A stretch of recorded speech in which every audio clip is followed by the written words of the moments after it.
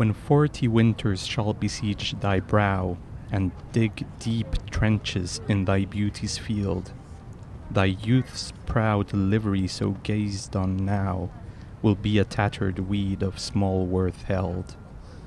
Then, being asked, where all thy beauty lies, where all the treasure of thy lusty days, to say within thine own deep sunken eyes, where an all-eating shame and a thriftless praise.